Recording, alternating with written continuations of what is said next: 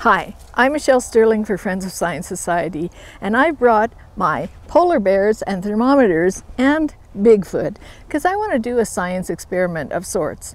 I want to test to see if all the temperatures in this range behind me are about the same or if there's a significant variation. So let's see what happens when I put the polar bears and their thermometers in their place.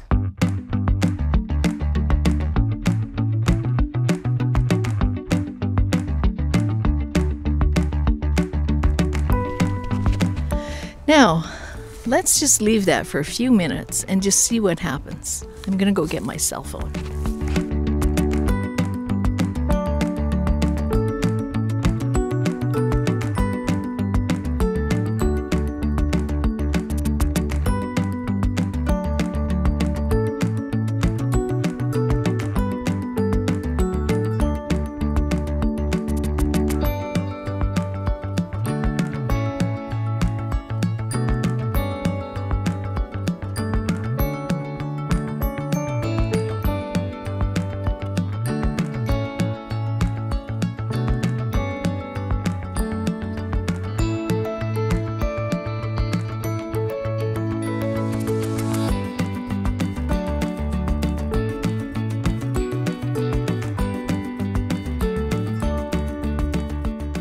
Now, some of you may say, well, what kind of scientific experiment is that? Every one of these polar bears or Bigfoot were parked in a different location. They all had different thermometers. None of them were calibrated to this air. And so this is a poor experiment because not all the thermometers and the sitings are exactly correct. Well, what do you think about all the temperature monitors in the world? Do you think they're all sited correctly? Because you're wrong. Do you think they're all well maintained? Because they're not. and do you know that when you read on NASA's website about the surface air temperature, they say that they would need to have 50 foot stacks of thermometers located all over the place in a place like this to accurately measure the surface air temperature. And in fact, they also say there's no common definition of what the surface air temperature is. And this is why they use what's called a global temperature anomaly, which is not actually a temperature measurement. It's a metric.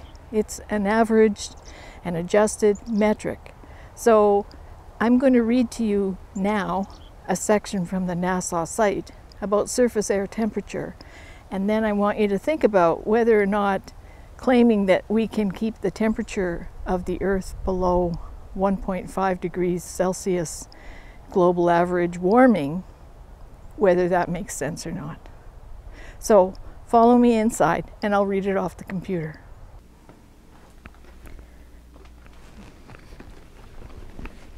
Okay, so now we're at the computer. Let's have a look at what NASA has to say about absolute surface air temperature.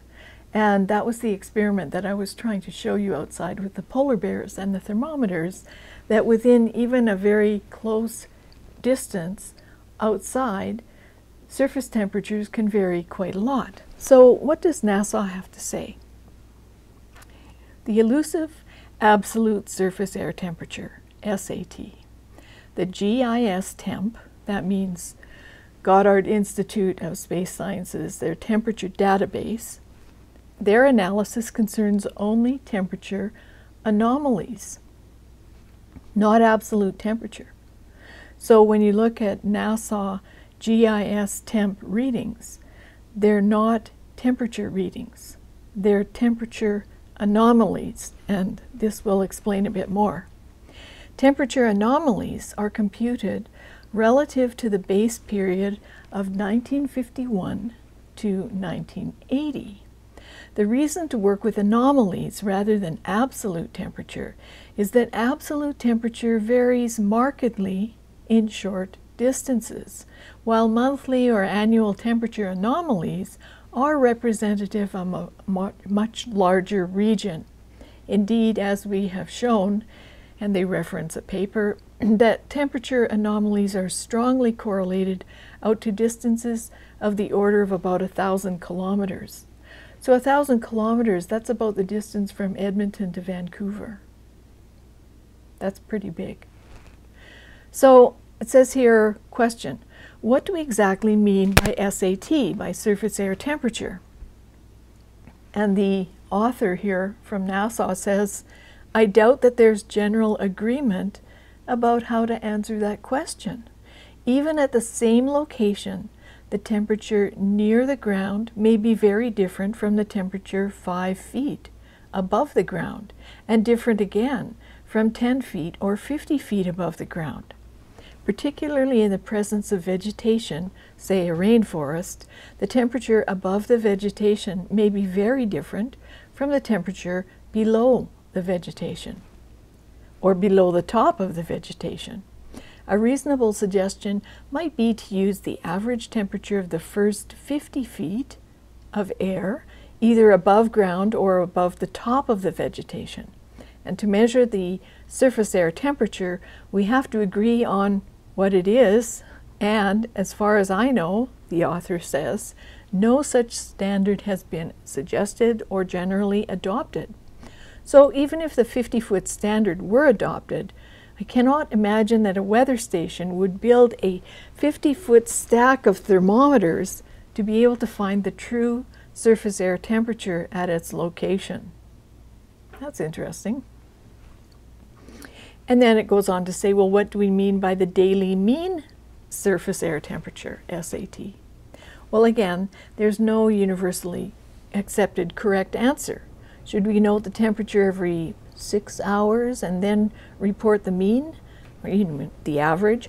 Or should we do it every two hours, hourly? Or should we have a machine recorded every second and simply take the average of the highest and lowest temperatures of the day?